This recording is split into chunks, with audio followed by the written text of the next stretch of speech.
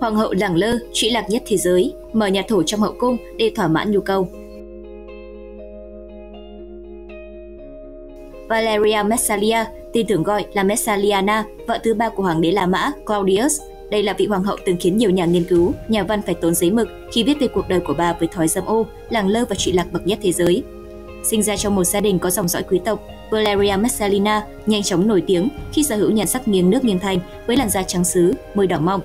Ở tuổi thiếu nữ, chỉ cần một cái liếc mắt đưa tình của Messalia cũng đủ khiến bao người đàn ông không thể cưỡng lại. Sau bao mối tình dâm loạn, vẻ lẳng lơ yêu kiều của Messalina cũng đã chinh phục được vị hoàng đế đầy quyền lực Claudius.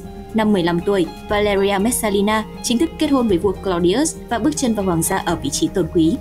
Thế nhưng, dù là vợ vua, Valeria Messalina vẫn không từ bỏ được thói lẳng lơ và dâm ô của mình.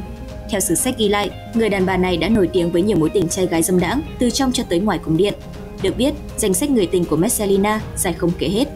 Kinh khủng hơn, dù bản thân Messalina chưa bao giờ thiếu thốn tiền bạc, song người đàn bà lẳng lơ này vẫn chấp nhận bản thân biến thành một gái điếm hạng sang với hy vọng thỏa mãn đam mê sắc thịt của mình. Mỗi đêm Claudius không ghé qua phòng bar, là Messalina lại tìm tới một người đàn ông khác để thỏa mãn cơn dục vọng. Thậm chí, sử sách còn ghi chép Messalina đã cho xây một nhà thổ cao cấp ngay trong hậu cung.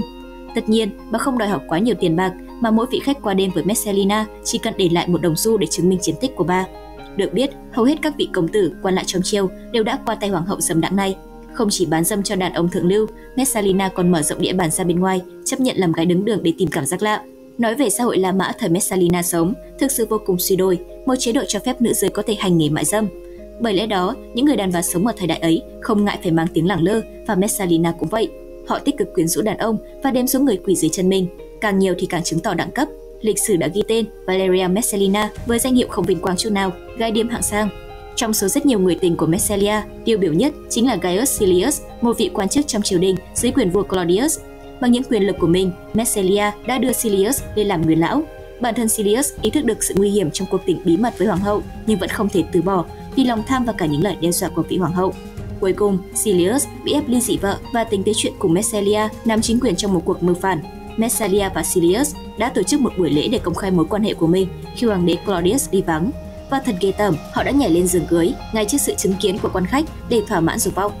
Tuy nhiên, khi chưa thực hiện ý đồ tạo phản thì đôi gian phu dâm phụ đã bị hoàng đế phát hiện.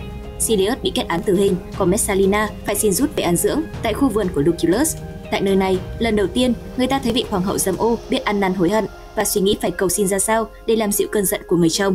Trong bước đường cung, Messalina đã tính tới chuyện tự tử nhưng không đủ dũng khí. Chính mẹ của Messalina cũng đến và khuyên con gái mình nên tự chấm dứt nỗi ô nhục và bất hạnh của bản thân. Một lần nữa, Messalina cố tự tử nhưng vẫn không thành. Cuối cùng, bà đã chết dưới nhát kiếm của một giám quân quan đột nhiên xông vào khu vườn Messalina đã qua đời, một cái chết đầy tủi nhục, nhưng hầu hết mọi người đều cho rằng nó xứng đáng với những gì mà bà đã gây ra trong suốt cuộc đời mình. Sau cái chết của Messalina, Viện Nguyên lão đã ra lệnh xóa hết tên của Messalina trong các công trình. Ngay cả những bức tượng từng được hoàng đế Claudius cho dựng vị yêu quý bà cũng bị hạ xuống.